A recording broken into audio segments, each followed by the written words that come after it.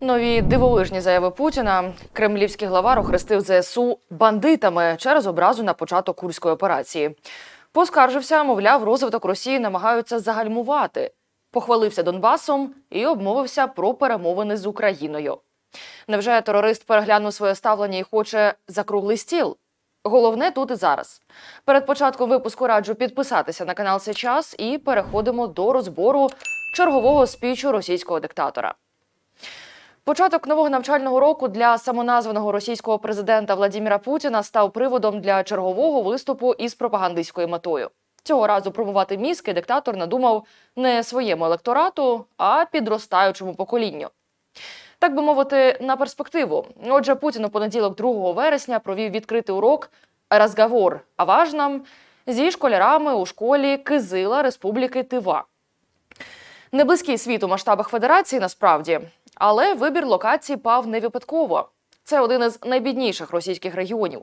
Більше третини населення живе за межею бідності. Немає навіть залізничного сполучення. Щоправда, за своєї каденції Путін намагався закласти колії. Ще 13 років тому лідер особисто приїжджав до Кизила закладати камінь для будівництва, але з тих пір там нічого не зрушилося. Лежить тільки той самий короткий шматок крейока, з яким позував Путін перед пресою. Про рівень освіти в такій забутій Кремлем і богом глушині можна тільки здогадуватись. Тим не менше, зустріли свого правителя з інтересом у ході цього педагогічного діалогу, ба більше монологу, вирішив він поговорити про війну. Зокрема, господар Кремля в чергове прокоментував хід курської операції ЗСУ, яку наші бійці розпочали 6 серпня. Армію України Владімірович назвав бандитами, а сам рейд на прикордонний регіон провокацією. Слухаємо. Счет был на то, чтобы прекратить наши наступательные действия на главных участках в Донбассе. Результат известен. Да, конечно, э, и прежде всего это касается наших людей. Э, Люди испытывают, проходят через тяжелые испытания, особенно в Курской области. Но, э, но главные задачи, которые противник ставил перед собой, остановить наше наступление на Донбассе, они не достигли. Насправді курській операції ЗСУ політик приділив небагато часу. Чомусь не хотів він акцентуватися на тому, що тільки за три тижні нашим військовим вдалося захопити близько 1300 квадратних кілометрів ворожої території і сотню населених пунктів на Курському напрямку. При цьому взяти в полон також вдалося 594 російських військових. Тим не менше, воєнний злочинець розказав школярам, мовляв, у російській армії небувалі темпи наступу на Донбасі начали подавлять, повторяю, людей, которые хотели нормальных отношений с нашей страной. Мы защищаем и тех людей, которые живут на Донбассе, и наше общее будущее. При тому, що американський інститут вивчення війни у суботу повідомив, що кілька підрозділів російської армії ймовірно були переведені до Курської області із Покровського напрямку. Аналітики не виключають, що це можуть бути резервні підрозділи. Але про нестачу особового складу на прикордонні диктатор теж не обмовився. Однак заспівав нову пісню про необхідність перемовин. Одразу зауважу, це суперечить його першим заявам на початку курської операції. Тоді можливість діалогу присікалася на корню. А тепер слухайте самі. По поводу э, мирных переговоров. Я всегда говорил о том, что мы хотим все спорные вопросы решать мирными средствами. Но что сейчас там происходит? Ведь действующие власти, даже в силу внутреннего законодательства, легитимными не являются. Они должны были провести э, выборы президента, но отказались от выборов, сославшись на военное положение. И это не соответствует основному закону Конституции э, Украины. Но к чему это привело? Если прекратятся боевые действия, украинским властям придется отменять военное положение. А после отмены положения военного нужно сразу проводить президентские выборы. А действующие власти явно к этому не готовы. Самі обмовки і образи. До слова, ображений Путін і на те, нібито його країну намагаються пригнічувати. После госпереворота на Украине, после которого начали подавлять все, что более или менее э, положительно относилась к нашей стране. Начали создавать на этой территории, на территории Украины, фактически базы, начали э, подавлять все, что связано с русским языком, с нашей культурой, э, с исторической памятью. Начали создавать из Украины анклав антироссийский, антироссию. А ще Путін пообіцяв, що російські військові зроблять усе, щоб нормальне життя в прикордонних регіонах відновилося. А поки що мають росіяни це постійні обстріли, скиди кабів зі своїх же літаків і провалену евакуацію. Більше про те, як живе російське прикордоння сьогодні, дивіться вже за мить. Не забувайте поставити вподобайку цьому відео, залишити свій коментар і, звісно ж, підписатися на канал Сейчас. Дякую вам за увагу. Ще побачимось.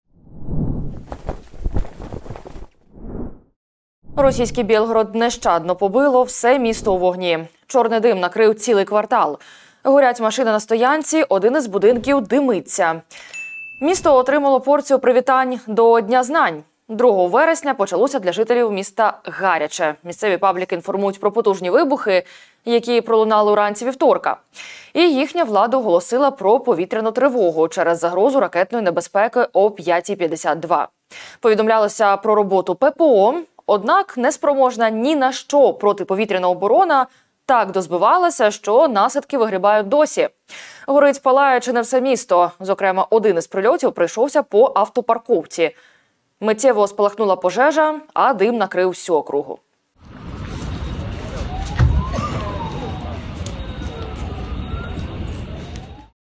Крім того, за даними тамтешніх змі, у результаті обстрілів є прямі влучання у соціальні та комерційні об'єкти. Пошкоджено дитячий садок Львьонок на вулиці Горькова. Прям в крышу садика. р- Просто в хлам. Вот школа, а вот садик, который перед школой. А вот его крыша. Свідки розповідають, що уламки розлетілися навкруги на десятки метрів. спали, вдруг такой звук. Мы сначала думали, в школу попала.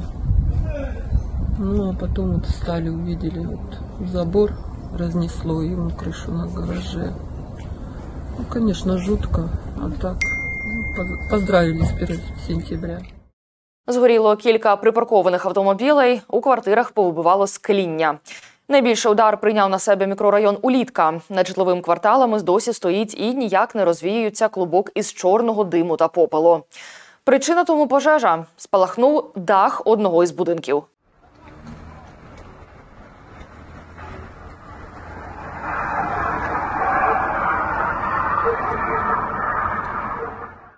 Через атаки у Білгороді частково скасували перший дзвоник. На Харгорі принаймні один тиждень уроки проводитимуться дистанційно. Також до наступного понеділка не працюватимуть дитячі садки, навіть у форматі чергових груп. Інші установи працюватимуть у очно-дистанційному форматі.